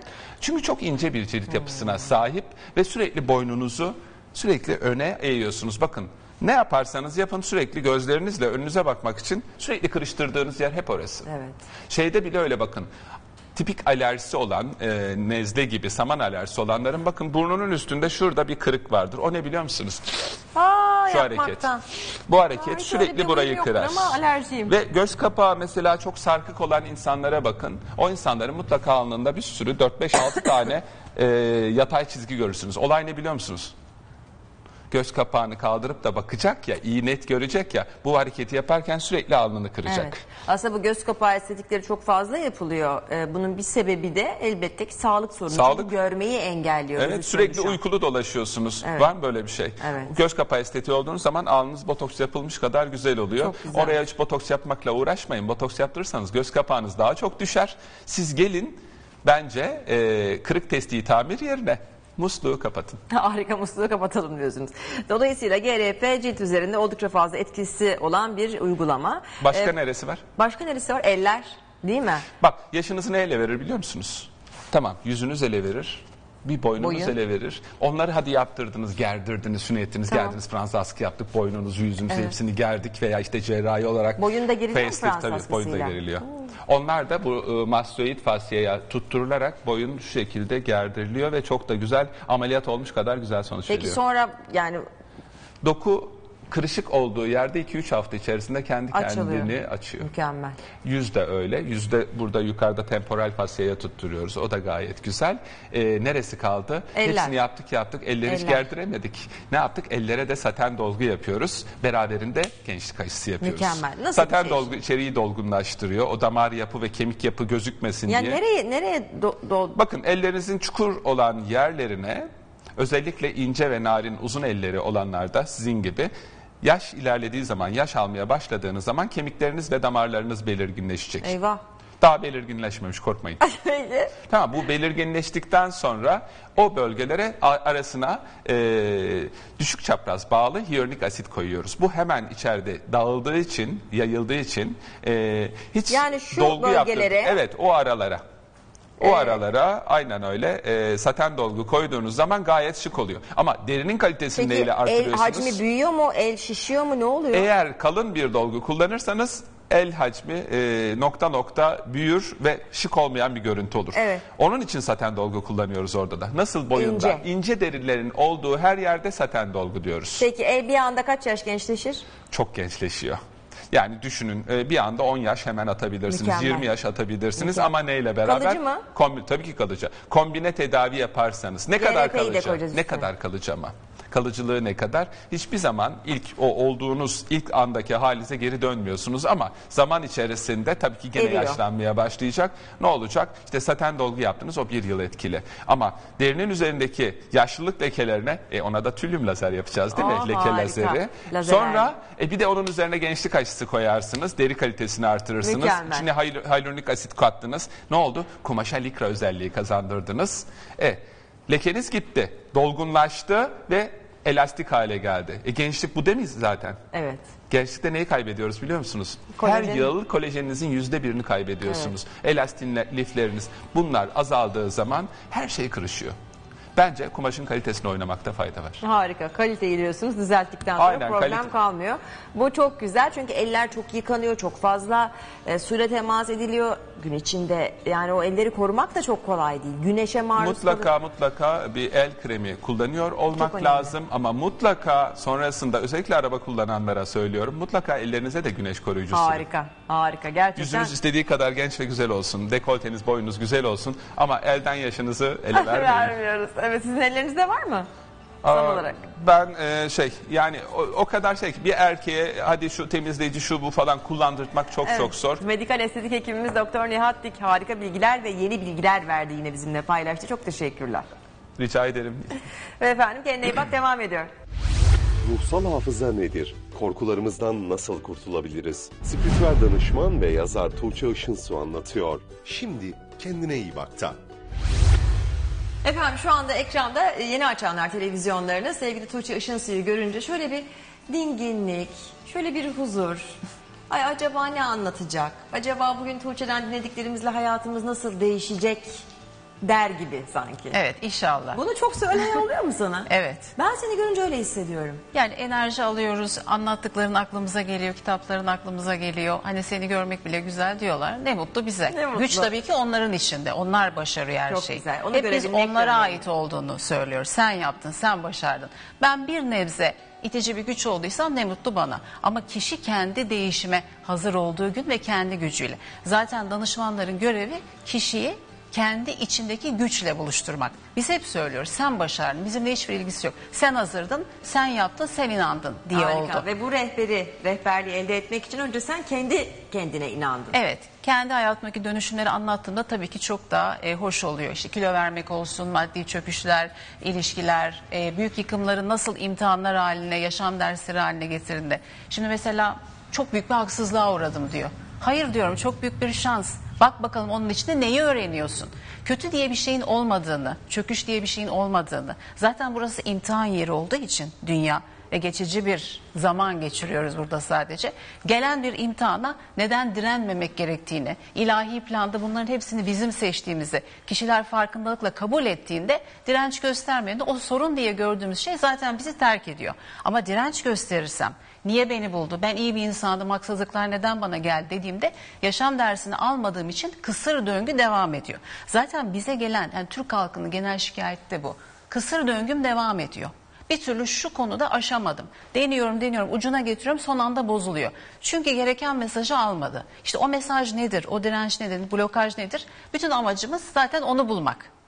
Harika. Şimdi öyle bir anlattın ki gerçekten o noktaya gelip geri döne, dönmek hepimizin Evet. zaman zaman hayatta başına geliyor mudur? Farkında mıyız, değil miyiz? Ama diyorsun ki yani bu ruhsal hafıza denen bir şey var. Evet. Ruhsal hafızayı temizlemedikçe Evet. e, buna zaten o yoldan geri dönüyorsun. Evet sürekli. geri dönüyoruz. Ne demek bu Tuğçe? Her şey orada gizli. Ruhsal hafızada benim bütün kayıtlarım, geçmişim, niye bu ilahi planda ben de varım, ben neyi arıyorum, yaşam amacım nedir? Hepsiyle ilgili kayıt ve kodlar var. Benim ruhsal hafızamda aslında hayatımla ilgili merak ettim. İşte ilişkim iyi neden gitmiyor, bu hastalık neden beni buldu? Belki beni terk eden bir babaya neden ben denk geldim gibi soruların cevapları var. Kayıt ve kodlarla yaşıyoruz. Ve bunları bazen değişmeyen bir kader zannediyoruz ama öyle değil. İşte değiştirilebilir kaderle ilgili Özgür irade veriyor çünkü Allah insana ve değişmesini istiyor. Kendisini bulmasını istiyor. Allah'ı bulmasını istiyor. Beyniyle ve gücüyle, ruh performansıyla bir şeyler yapmasını istiyor. Ruhsal hafızaya baktığımızda bilinçaltı, çocukluktan gelen kayıtlar, aile karması, geçmiş zamanlardan elde ettiğim birçok anılar var. Onların bir kısmı beni yönetiyor ve onları ben dönüştürdüğümde dönüştürülebilir kaderle ilgili yol kat edebilirim. Çok güzel. Fakat biz sanıyoruz ki bazı şeyleri değiştirmeden boyun eğmeliyim. İşte orada değerimizin Kaderine boyun farkına- eğmek. Ben de böyleyim. Ne yapalım artık böyle geldik. Ve böyle şimdi gittik. hani kutsal bir aydayız. İslam'da kadere iman var ama kadercilik yok. Zaten Allah bunun için özgür iradeyi veriyor. O yüzden insanların hayatlarına sahip çıkıp işte o değiştirilebilir kısımda yüksek bir performans sergileyip bilinçaltına ve ruhsal hafızasına bakıp o kayıt ve e, dönüştürülmesi gereken anılarla yüzleşmesi gerekiyor. Biz de zaten bu yönde insanlara Siz de bunu yardımcı oluyoruz. Spiritüel danışman olarak ve yazar olarak kaç tane kitabın var Tuğçe bugüne Sekiz. kadar? Evet. Harika. Nasıl İki gitti son tanesinde kitabında? sana da konuk oldum. Elbette. Evet. Elvedüt Allah'ın aşk adını taşıyan son kitabımda Sırlı Dualar Esma-ül Hüsna yine kişisel gelişim uygulamalarını koydum içine. Kitabın her sayfasında ben zaten sosyal medyada e, imkanı olmayan değerli izleyiciler, Paylaşıyorsun. takip, Evet. okur adayları içinde koydum, paylaştım. Çünkü yani geçen gün bir hanımefendi bir mesaj attı. İnterneti alacak param yok. Komşunun internetten bağlanıyorum. Şimdi bu kadına gidip bir seans alın veya bir kitap alın demeye hakkınız yok. Ve danışman olarak ona da sahip çıkmak zorundasınız. O yüzden evet duaları, ritüelleri, olarak, uygulamaları evet oraya koyuyorum. E, o da onu yapıyor. Belki bir sonuç alıyor. Dua ediyor bana. Ay. E, duadan daha büyük bir geri dönüş de yok. Yok. Biz de mutlu oluyoruz. Ne kadar güzel, ne kadar. Peki sonra merak ediyor musun? Acaba o kişiler ne oldu? Ee, Hep beni ararlar. Ha, Tabii danışanlar olsun, okurlar olsun her zaman e, ararlar. Çok fazla geri dönüş ve mail ve mesaj geldiği için bazen evet yüzlerce oluyor bir gün içinde. Önemli olanları veya güzel geri dönüş olanları ilham olsun. Bakın ona olmuş sana da olur anlamında ben her zaman sosyal medyada paylaşıyorum. Çok önemli ve zor vakaları merak ederim. Mesela ağır hastalar, çok büyük şiddet görmüş hanımlar, çok uzun zamandır bir hastalığı olmadığı halde hamile kalamayan bayanlar. Bu nedir Özellikle peki? ilgi Yani bu- duyduğum bu konular. nedir? Bu kişilerin kendini değiştiremediği bir sorun mudur bu? Yani kaderciliktir. Dediniz ki ruhsal hafızada Cevapları var. Tabii var. orada görülüyor. Ama bir bölümü değiştirebilir. Şimdi o bölümünün hangi bölüm olduğunu bir kişinin ruhsal hafızasının onu nasıl yönlendirdiğini kişi kendi bilinciyle fark ölüm, edemez. ölüm, doğum ve kesin olarak imtihan olarak gelen çok büyük dönüm noktaları var. Onların dışındakileri değiştirirken zaten aslında hayatı sorguluyorsun. Neden bu dünyaya geldi? Benim yaşam amacım ne? Neyi öğrenmem gerekiyor diye algılıyoruz.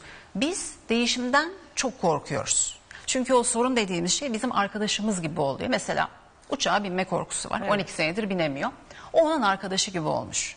O yüzden bir danışmana giderken, seans yaparken ve evde kendi uygulama yaparken onu bırakırken çok zorlanıyor. O kadar kemikleşmiş ki onunla olan birlikteliği, o korkuyla. Bırakırken çok zorlanıyoruz. O yüzden insanlar değişmek istediğini söyleyip aslında değişime direnç gösteriyorlar. Yani ben böyleyim, benim karakterim bu. Hani karakter bu, aslında sanıyor. Aslında bu. karakter değil çünkü kimse mutsuz olmayı veya uçağa binmekten korkmayı veya obez olmayı veya ilişkilerinde sürekli aldatılıp terk etmeyi ne hak ediyor ne de öyle yaşaması lazım ve bunlara ben izin arzu verirsem ediyordur. Evet kendi kul hakkıma da giriyorum. Çünkü bana şiddet uygulayan bir eşe çok ciddi şekilde e, bunun sevgi olduğunu söyleyip kendimi kandırdığımda o darbeyi vücuduma ve ruhuma aldığımda ve bunu kabul ettiğimde evet kendi kul hakkıma giriyorum. Veya patron veya iş yerindekiler yüksek oranda mobbing yapıyor. Şimdi bu benle ilgili bir sorun. Bir kere burada patronu veya ben partnerimi İzin suçlamayacağım. için. Değersiz hissediyorum. Belki kazanç korkum var. Kariyerimde yükselme korkum var. O yüzden onlar mobbingle aslında beni durduruyor. Veya o kadar iyi bir iş başka bir yerde beni bekliyor ki onlar oradan gitmem için ilahi planda çalışıyorlar. Bunları e, kişilerin fark etmesi lazım. Ama biz bırakmaktan ve değişmekten çok korkuyoruz. İşte kişi hazır olduğunda Neden? Konfor alanından çıkıyorsun. Evet alıştığın o korkunu arkadaşın gibi görüyorsun. Oysa ki evrende boşluk yasası olmadığı için o korkuyu bıraktığında veya o ilişkiyi bıraktığında, o işi bıraktığında yerine yenisi gelecek. Bir de biz değişime niyet ettiğimizde ego devreye giriyor ve diyor ki durdurmak için o eski kayıtlar sen yapamazsın. İşte 3 sene önce de denemiştin olmamıştı. Buradan iyi iş mi bulacaksın? Diğer patron da mobbing yapacak. Ya da yeni sevgili bulsan o adam da aldatacak gibi hatalı telkinlerle bizi yönetiyor. Egonun sesini kısıp ben özgür irademin ve performansının sesini yükselttiğimde işte dönüşüm başlıyor. Çok güzel. Ama yoğun blokaj nereden geliyor? Dediğin gibi işte o değiştirilebilir alanda ruhsal hafızaya girdiğimizde aile, çocukluk, bana yanlış telkinle hükmetmiş olan insanlar, kader sandığım eski anılar. Bir de kolektif bilinç ve bilinçaltından doğum anında orta çağ, eski çağ birçok anıyı çekiyorum. Ruhsal hafızaya bir giriyoruz. Bir yangın anısı çıkabiliyor. Bunlar biz hep bütün anıları alarak bu dünyaya geliyoruz ve bunları sanıyoruz ki bunlar bizim kaderimiz değişmemesi lazım, boyun eğmem lazım. Ne zaman ki bu teknikler dünyada 90'lı yıllarla birlikte geriye dönüş, bilinçaltı regresyon gibi uygulamalar popüler oldu. O zaman insanlar şunu keşfetti. Ben hakikaten değişmeli ve dönüşmeliyim. Çünkü bana sunulmuş bir manevi zenginlik var. Bütün metotlarla değişebilirim. Bir de şundan da korkuyoruz. Büyümekten, zenginlikten, başarıdan. Sanki bunlar olduğunda başka şeyler kötü gidecek. Özellikle Türk halkında bu çok vardır. İşte zenginlik başa bela olur. İşte çok yakışıklı erkekle evlenirsin, başka kadın gelip onu alır götürür. Hep bir negatifle pozitifi bir arada korkuya düşünme. düşünme, değil Aslında mi? böyle bir Neden- şey yok. Neden rahat değiliz Tuğçe? Korkmak öğretiliyor çünkü. Bir de çocukken mesela babası çok fazla telkinde bulunuyor. Aman kızım yanlış e, trafiğe çıkma bir şey olur. İşte ekmek almaya yalnız göndermez, e, bakkal sana paranın üstünü vermez. Sürekli korkularla, telkinlerle büyüyoruz. Sonra yetişkinlikte anlıyoruz ki bir dakika burada bir sıkıntı var, bende bir sıkıntı var. Dönüşüme niyet ettiğimizde işte geriye gittiğimizde bütün o kayıt ve anıları gördüğümüzde bunların başka insanların bize dayattığı veya öğrettiği veya hayatın bize yüklediği anlamlar olduğunu, bizim gerçekte o kişiler olmadığımızı, çok daha saf bir enerjiye sahip olabileceğimizi ve düşünce gücü ve telkinle her şeyi yapabileceğimizi keşfettiğimiz gün dönüşüm dediğimiz şey de başlıyor. Harika. Şimdi bahsettiğin ilgi alanını Heh. çeken o konular var ya Evet, onlardan bir ikisini biraz Evet. konuşmak istiyorum. Özellikle Tabii. şiddet gören kadınlar diyorsun. Evet. Şimdi o kadın bunu kabul ediyor, sevildiğini zannediyor. Bunu değer verme gibi gören hanımlar bile var. Bana değer veriyor, beni çok seviyor bu yüzden. beni- Kıskançlığından yaptı. Değer verdiği için. Korumak için yaptı. Aslında benim kocam iyidir. Ona ailesi öyle göstermiş gibi savunma mekanizmalarıyla. sinirliydi o ana denk geldi. Bunun benden özünde çıkardı. değersizlik var. Peki bunu nasıl çözüyorsunuz? Yani o kadın bunun için hayatında ne yapıyor? Şimdi biz ona ruhsal hafıza ve bilinçaltı kodlarına girdiğimizde bu olayı neden yaşadığını ilk evvela gösteriyoruz. Öyle farklı kayıtlar çıkıyor ki sonrasında görüyor. Mesela bir örnek çok yakın zamanda olan e, beyefendi karısının çalışmasını istemiyor. Sürekli şiddet uyguluyor. Çünkü bilinçaltında aslında eşinin para kazanma ve güç, iş kadını olma potansiyelini görüyor. Çok yoğun şiddet uyguluyor. Yani hastanelik olacak şekilde. En sonunda ayrıldılar. 3 ay sonra çok basit bir ticaret işi kurdu hanımefendi. Ve o iş tabiri caizse Anadolu'da şu anda çalışıyor. Patladı. Ay şu an güzel. çocuklarına bakıyor, hayır kurumlarına destek oluyor. ne güzel. Hakikaten kadının bilinçaltında para korkusu yattı. O yüzden eşine hep kendisini ezdirdi. Beyefendi de kaybetme korkusu yattığı göründü. Şimdi ayrıldılar. Beyefendi çok pişman. Belki yasal boyutu da takip edildi. Her ikisi için hayırlı oldu. Hatta eşin de maddi sorunları vardı. Zaten altında o da yatıyor. O ona şimdi destek oluyor. Ah. O onu affetti. O benim imtihanımda yer alıyor dedi. O onu affetti, o onu affetti. Şimdi ikisi de kendi yoluna bakıyor İlahi adalet diyorsunuz. altında başka şeyler yatıyor. Mesela geçen gün bir hanım geldi. Hiç yemek yemiyor. Hayatı boyunca rejim yapmış. Dedi ki işte siz 38 kilo verdiniz. Ben yemek yemiyorum ve veremiyorum. Bir baktık kayıtlarına. Çocukken amcasından çok şiddet görmüş. Bırak hiç yemek yemiyor derken Yemiyorum diyor. Yani benim kadar az yiyen bir kadının tığ gibi olması lazım. Kadın 103 kilo. Mümkün değil. Diyetisyene doktora da gitmiş. Fakat manevi olarak bazen hazır olmadığımızda başka metotlar işe yaramıyor. Bir baktık kayıtlara şu çıktı. Amcası hem babası bile değil amcası çocukken kendi hırsları ve hatalı e, tavrından dolayı şiddet uygulamış. Şimdi bedene darbe alıyorum ya çocukken. Bedenimle sorunum var bilinçaltımda. Bilinçaltı diyor ki yok diyor ben bu yağları tutacağım. Seni iri ve hacimli ve kuvvetli yapacağım. Çünkü tekrar darbe almandan korkuyorum. Ne zaman o kaydı dönüştürdük? Bir anda Allah çok şükür bir 12-13 kilo şimdi Ay, verdi. harika. Önü de açılacak. Yani hepsinin bir açıklaması ve sebebi var. Ve o sebebi var kayıtların diyorsunuz. bilinmesi gerek. tıkanan bir Evet. şey varsa bilin ki bir Onu şey var. çözdüğümde halloluyor. Peki çocuk meselesi. Çocuk 2-3 meselesi. yıldır ol- olamıyor diyorsunuz Evet. tedavilere Tüp rağmen. bebek tedavisi gören birçok hanımla Peki. bugüne kadar çalıştık. Ee, ve hep şunu gördük. Mesela diyelim ki hamile kalması için tıbben bir engel aslında yok. Babasıyla olan ilişkileri, kıtlık korkusu, çocuk doğacak ama nasıl bakacağım? Veya eşiyle ilgili bir önceki ilişkisine aldatılmış, bu kocam da giderse ne yaparım, çocukla ortada kalır mıyım? Veya çocukken çocuklarla ilgili çok olumsuz şeyler anlatılmış gibi birçok kayıtlar görülebiliyor. Mesela geçen gün bir danışanda oldu. Babaannesi çocuğunu doğurduktan 3 ay sonra eşi, dedesi yani bırakıp gitmiş başka bir kadına ve orada 4 çocuk yapmış. Bu bir hikaye. Bütün çocukluğunda bunu anlatmışlar. Kızım dikkat et işte erkekler böyledir doğurursun böyle olur şöyle olur gibi. O telkini o kadar çok almış ve onaylamış ve kabul etmiş ruhsal hafızada kayıtlamış ki Tabii. o kayıtla o hanımın hamile kalması çok zor. E tedavi görüyor, eşiyle çok mutlu, her şey doğru.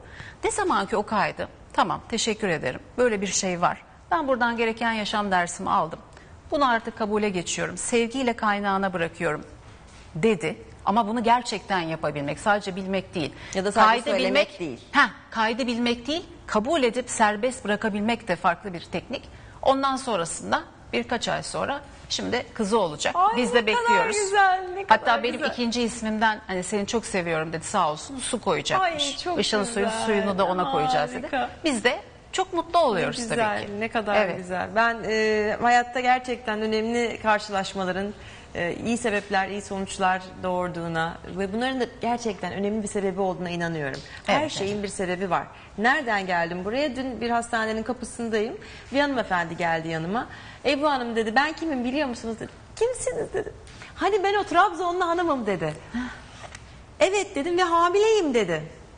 Bizim programımızda tüp bebekle ilgili çıkan bir doktoru Harika. izleyerek Evet. aylardır hamile kalamayan o hanımefendi ta oradan bize ulaşmış doktor beye. Benim Evet. bilgim yok hanımefendi hamile kalmış. Çok işte dedi güzel. denk geldi ben olamıyordu fakat o gün bir şeye inandım sizi izledim ve şimdi 36 haftalık neredeyse Evet. doğuracak ve ben onları konuk almak istiyorum buraya. Evet, çok güzel, çok dokunaklı. Yani ben her şeyin bir sebebi olduğu konusuna e, gerçekten inanıyorum. yapsınlar ve beklesinler.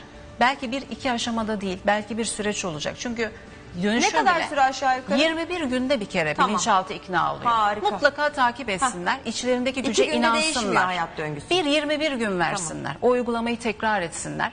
E, mutlaka mesajcı rüyalarına inansınlar. Neyi neden yaşadığını kişiler kendi de bulabilir. Ben bütün bilinçaltı metotlarını da zaten canı gönülden koydum. Onlara Mükemmel. güveniyorum. Hayatlarını dönüştürecekler. Ay, Çok tatlısın. Biz de sana inanıyoruz ve seviyoruz seni Çok sevgili teşekkür Tuğçe ederim. Işınsu. Spiritüel danışman ve yazar efendim. Bugün yine bize harika bilgiler verdi. İçimizi açtı güzelliğiyle. Çok teşekkürler. Sevgiler Tuğçe. herkese. Ve kendine iyi bak. Devam ediyoruz sevgili izleyiciler. Liposuction sonrasında tekrar yağlanma olur mu? Estetik ve plastik cerrahi uzmanı operatör doktor Ozan Balık şimdi kendine iyi bakta. Efendim şimdiki konumuz erkeklerin özellikle oldukça ilgisini çekeceğe benzer. Tabii hanımların da aynı Kesinlikle zamanda. Çünkü hanımların da. herkes bölgesel yağlarından şikayetçi. Aynen öyle. Estetik ve plastik cerrahi uzmanı operatör doktor Ozan Balık efendim şimdiki konuğumuz E, adı üstünde baklava görünümüne herkes kavuşmak istiyor. Çok zor mu? Ee, çok zor değil. Ultrasonik liposuction cihazı 1980 yılından sonra dünyada tanıtıldı, yaygınlaşmaya başladı. Klasik liposuction yerini almaya başladı. Ondan sonraki gelişmeler içerisinde yağı çok iyi kontrol edebildiğimizi fark ettikten sonra bir son 10 yıldan beri yağı nasıl şekillendirebileceğimizi, nasıl anatomik detayları ortaya çıkarabileceğimizi öğrendik. Zor mu? Değil. Ee, yaklaşık birkaç saat içerisinde bir karın bölgesini şekillendirmeniz mümkündür. Ondan sonrasında hastaya tabi ta- tavsiyeleriniz olacak. Bir tabi korse süreçlerimiz var. Bu şekilde ilerleyen süreçleri takip ettikten sonra sonuca Ay ulaşabiliyoruz. Ozan Bey bir dakika çok hızlı anlattınız. Şimdi bir dakika bir dakika. Şimdi bugüne kadar o spor salonlarında o baklavaları elde etmek için saatlerini, günlerini, aylarını verenler, Evet. beslenmesine dikkat edenler, bütün bunlar bir tarafa diyorsunuz. Birkaç saatte baklavalar sizin. Hayır. Değil. Her hasta Peki. her hasta bunun için uygun değil. İsterseniz Peki. şuradan başlayayım. Tamam. Ultrasonik liposuction cihazımız nedir? Neden klasiğe göre bunu tercih ediyoruz? Çünkü ultrasonik liposuction cihazı kullanmaksızın bu baklava dilimlerine ulaşmanız mümkün değil. Değil. Şöyle söyleyeyim. Şimdi Klasik- klasik yöntem nedir? Evet. Oradan başlayayım isterseniz. Lütfen. Şimdi klasik liposuction yönteminde çubuklarımız var ve bu çubukların ucunda bir rende şeklinde bıçağımız var. Bu rende şeklindeki bıçakla derideki küçük deliklerden gelip içeride resmen bir rendeleme yapıyorsunuz siz.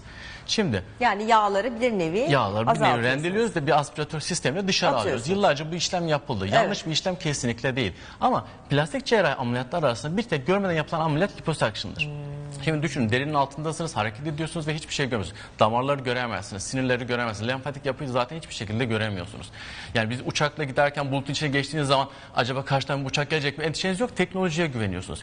Şimdi ultrasonik liposuction Ne kadar cihazı... güzel bir örnek verdiniz Ozan Bey. Evet orada e, yükseklik korkusu olan biri olarak gerçekten bunu kendi kendime çok sormuşumdur. Karşıdan bir uçak geliyor mu acaba Aynı şeyi ben de gibisinden. yaptım. Nasıl peki çözüm buldunuz bunu? E, bunu aslında çözümü ben değil, çözüm Amerika'dan ortaya çıkartılıyor.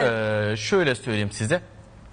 Doğada tüm nesnelerin ışıkla ilgili bir uyumu vardır ve sesle ilgili bir uyum var. Hani çok klasik bir şey. Belli ses tonlarında belli cisimler kırılır. Şimdi değişik frekans ar- aralıklarını tutturabilirsek önünüzdeki şu vazo ya da tabak kırılacaktır önce. Daha sonra başka bir frekansa geçtiğiniz zaman lambalar, başka bir frekansta bardaklar. Çünkü oradaki rezonansa gire- gir- giren dalgayla, ses dalgasıyla e, cisimlerin anatomik yapısı, mole- moleküler yapısı arasında bir uyum tutturduğunuz zaman onu yerinden sökersiniz. Şimdi ultrasonik liposuction cihazında çok yüksek frekansta ses dalgaları çıkıyor. Bu ses dalgaları derinin altındaki yağların titreşmesine neden oluyor. O kadar çok titreşiyor ki bunu bir üzüm salkımı gibi düşün ya da bir ağacın altına hiç meyve salladığınızı mı bilmiyorum. Onu salladığını Evet, düşün. evet. Ve yağlar olduğu yerde sıvı, sıvılaşmaya başlıyor. Evet. Tutunduğu yerden kopmaya başlıyor. Onlar koptuktan sonra bir pipet sistemi dışarı almanız çok daha kolay oluyor. Evet. Ve e, ultrasonik liposuction cihazının o ses dalgası yağa spesifiktir. Yani hemen komşuluğundaki damara zarar vermiyor, Evet. sinir sistemine zarar vermiyor. Önünüzü görebiliyorsunuz. Önünüzü görebiliyorsunuz. Lenfatiklerinize zarar vermiyor. Hatta lipödem denen bir hastalık var. Direkt tedavisi altın standart. Ultrasonik liposuction. Ne diye bir hastalık var? efendim? Lipödem. Lipödem. Lipödem kadınlar arasında çok yaygın bir Nedir hastalık. hocam bu? Ee, nedir anlatayım. Hani e, belden aşağısını bazı hamlarda görürsünüz çok fazla kabarıktır. Evet. Yani bu beden, bu belden aşağısı, bu belden üstü uyumlu değil, bu başka birine ait bir Evet. şey Yani gibi der gözüküyor. ki üstü 30 üstüm küçük ama altım 40 beden. Çok alakasızdır. Hatta gün içerisinde ağrılar olur. Dinlenmekte şişkinlikleri geçmez. Dokunduğunuz zaman hassasiyeti vardır. Bastırdığınız zaman çukur oluşmaz. Lenf, e, lenfatik dolaşım bozukluğundan farklıdır. Direkt yağın anormal dağılımıyla ilgili genetik bir problemdir bu. Peki. Mesela bunların tedavisinde lenfatikleri korumak zorundasınız. E, lenfatiklerin dibinden geçeceksiniz. Yağı eriteceksiniz ama lenfatiğe zarar vermeyeceksiniz. Bunu klasik yöntemle yapmanız mümkün değildir.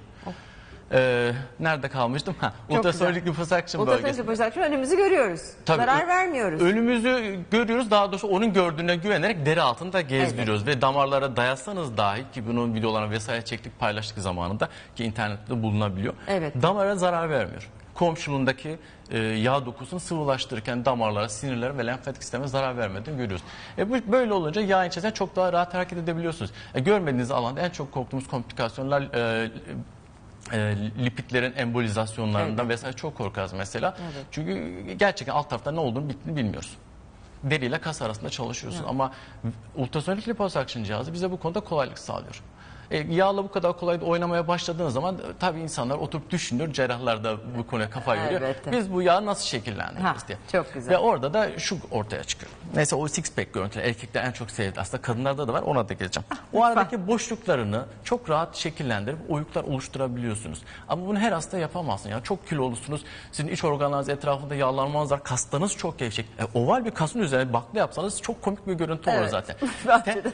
tercihen, tercihen zaten bir miktarda olsa spor yapan, bir miktarda olsa vücudu fit ama bu yağlardan kurtulamıyor. O istediğim bakla görüntülerine ulaşamıyorum diyorsa hasta onlar ideal hastadır bizim için. Muayenesinde planlamamızı yapıyoruz. Neyi nasıl kullanacağını anlatıyoruz kendisine. Ameliyata giriyoruz. Birkaç saat içerisinde o plan, plan yapmak ameliyatın neredeyse yarısını tutuyor. Bir saat yakın çizimleri sürüyor çünkü. O anatomik bütün detayları belirlemek zorundasınız. Ondan sonra ameliyatın Yani bazı yerlerdeki yağları bırakıyorsunuz, bazı yerlerdeki boşlukları aynen, aynen öyle. Yani ki- ismi kas esteti olarak Evet. geçiyor ama Yani gerçek- şu görünüm, şu tam olarak bu görünüm öyle oluyor diyorsunuz. Evet oradaki kabarık olan yerler yağ. Evet. Evet. Aynen. Kas değil yani. Hayır değil. değil. Ama görüntü olarak iyiydi. O yüzden her hasta yapmanız doğru değil, komik kaçar. Tabii. Uygun hastayı seçtikten sonra bu görüntüyü elde etmeniz mümkündür. Oyukları oluştururuz. Hatta aldığımız yağları o baklalar daha da güçlensin de oralara verebiliyorsunuz. Ya bisep kasına, trisepse verebilirsiniz. Pektoral kaslarını güçlendirebiliyorsunuz da. Görüntü güzel. Ama kişiye tabii bunu yaptınız ama korunmak için sporunuza devam edin diyoruz biz. Evet. Mutlaka o formu korumak lazım. En azından kas planınızın güçlü olması gerekiyor. Evet yani mükemmel. Şimdi e, ultrasonik liposuction sonrasında daha önce dediniz ki hani yapılan klasik yöntemlerde işte korse giyilmeliydi, tedavi süresi daha uzundu. Ultrasonik liposuction'da da gerekiyor mu? Evet gerekiyor. Çünkü yani yöntem ne olursa olsun siz oradan bir doku çıkartıyorsunuz. Yağı Evet. eksiltiyorsunuz ve vücut boşlukları sevmez. Oraya mutlaka serumla doldurmak isteyecek, sıvıyla doldurmak isteyecek. E biz de onların en kısa zamanda oradan gitmesini, o boşalttığımız yerlerin yapışmasını istiyoruz. Evet. O yüzden korse baş, Ödem bizim olmaması çok için, önemli. korse Evet. önemli. Evet, Peki e, ultrasonik liposuction sonrasında bu görünüm ne zaman ortaya çıkıyor? Şimdi e, başlangıçta çok sert bir korse giyiyoruz. Gerçekten hasta nefes almakta bile e, zorlanıyor diyebilirim. Çok çok sıkıyoruz ki ödemden hızlıca atsın diye. Bir, bir hafta 10 gün kadar sonra o korse çıktıktan sonra biraz daha yumuşak bir korseye geçiyoruz. Ve birinci ayda çok net olarak hasta o sonuçlarını görmeye başlıyor. Elbette ödem hala var. Onu hasta ve biz çok detaylı incelediğimiz için hissediyoruz onu ama Ağrı acı hissediyor mu? e, bir miktar ağrısı var Evet. açıkçası. Yani liposak vücuttan yağ uzaklaştırdığınız hiçbir yöntem ağrısız değil. İmkansız. Bir miktar ağrı elbette oluyor. Özellikle Wazer'da bu ağrı olacak. Neden? Bir özelliği daha var. Ultrasonik liposuction'da deri altını da biz ısıtıyoruz. Yani oradan yağlar eksildikten sonra yani e, kas esteti değil genel anlamda liposuction yaptığımızda da yağlar eksildi ama deri sarkmaması gerekiyor. Tabii. O derinin sarkmaması için de elastikiyetini arttırmamız gerekiyor. Bu ses dalgası yağı titretip sıvılaşıyor dedik ama bir özelliği daha var. Ses dalgası deri altına yaklaştırdığın zaman ısıya dönüşüyor. Ve belli bir dereceye kadar ısıttığınız zaman orada fibroblast dediğimiz hücreler derin elastik e, liflerini arttırıyor ve elastikiyeti arttırıyor. Mükemmel. Ve bu yavaş yavaş bir 6 ay içerisinde yavaş yavaş bu bölgede sıkılaşma derinin zemine oturduğunu görüyoruz. Ve bunun desteklenmesi de güzel oluyor. Kendiniz uyguladınız mı? Hayır, biraz bebeğim var. Göbeğim var diyorsunuz ki Bir sizin de miktar. yapınız ince. Yine de o kadar bile bir göbek dahi e, uygun değil bu işlem için. Aa, bu işte beni soruyorsan bana uygun. Size uygun mu? Ha, Ama Siz kim tercih yapacak? etmediniz. Peki doğru o da çok önemli değil mi? O da çok önemli. Peki efendim şimdi e, yaptık diyelim korseleri taktık e, görünüm elde edildi bir ay sonunda. Evet. Kadında ve erkekte iyileşme süreci fark ediyor mu? Kadın ve erkekte iyileşme süresi için fark etmez. Sonuçta metabolizma hemen hemen benzer şekilde işliyor. Ee, kadınlarda tasarım sadece farklılık gösteriyor. Yani erkekler daha böyle e, üst vücudun daha ön plana çıkması için pektoral kaslara enjeksiyonlar oluyor. Ve bu mesela kol hareketlerinde bir miktar hassasiyeti olabiliyorlar. Kadınlarda ise tabii ki göğüs bölgesine vesaire çalışıyoruz. Onlarda da tam tersi Brezilyan kalça yönelmeye başlıyoruz. ve erkeklerde six pack varken kadınlarda genellikle dört parçalı bir kas görünümü Evet. ve daha fazlası Kadınlarla ilgili de bir görünüm varsa onu da görebiliriz e, eğer uygun olursa. Evet. daha yokmuş peki. o six pack'ler kadın vücudunda e, kadın, da iyi durmuyor kadın zaten. bozuyor. Evet. Onun yerine ne yapıyoruz? Bu bel kavgesini daha çok ortaya çıkartıyoruz. Ama beli en güzel gösteren şeylerden bir tanesi de popodur. Aldığımız o yağları atmıyoruz. Erkekte nasıl six pack'ler veriyorsak kadında da aldığımız yağları popoya enjekte ederek Bunu çok duyuyorum katıyoruz. son zamanlarda. Çok mu artış var? Evet son zamanlarda bu arttı. Brezilyan kalçası şeklinde, Evet. Brezilyan poposu şeklinde artış var gerçekten de. Evet. Pekala efendim. Aslında geri bile kaldık.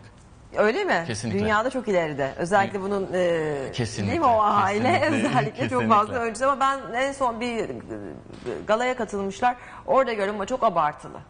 Yani o Abart- insanların yürüyüşünü ve eklemlerini bir süre sonra rahatsız etmez mi? Abartılı yapılan her ameliyat, her türlü işlem zaten kötü durur. Evet. Yani bir Brezilyan kalçası dediğin zaman e, çok da güzel örneklerini gösterebiliriz Evet. size. Anlatabiliyor muyum? Evet de aşırıya kaçmış olan, aşırıya kaçmış dudak dolgusu da hoş durmaz. Aşırıya Evet. kaçmış elmacık dolgusu Her da şeyin aşırısı. Her şeyin aşırısı kötüdür. Bunun Evet. doğal sınırlar içerisinde o doğal kurvatürü vererek o kadın satları ortaya çıkartmak gerekiyor diye Evet. düşünüyorum. Peki o zaman ve kadın erkek fark etmeksizin diyorsunuz ki o karşılık İyileşme süreci, çıktıktan evet. sonra iyileşme süreci Evet. e, bir ay sonunda görüyorsunuz. Peki Evet. sonra yağlanma tekrar oluşuyor mu?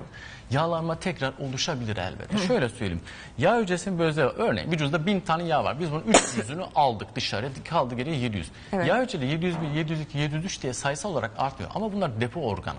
Ya siz eğer tamam ben artık yaptırdım harika vücudum ama artık yiyebilirim derseniz, kontrolsüz besleniyorsanız, e, diyetinize dikkat etmiyorsanız o geriye bıraktığımız yağ hücrelerinin elbet onları içine alıp şişme özelliği vardır. Ama ne oluyor? Bu bizim yağı uzaklaştırdığımız bölgede daha zordur ama diğer yerler daha kolay. Tabii o, yani e, bu iş yaptık bitmiyor. Ondan sonra onu korumak Onu da hastaya korumak da kalıyor açıkçası. önemli. Evet, yani kesin. aşağı yukarı iyi dikkat edildiği sürece ne kadar kalıcılığını korur baklavalar?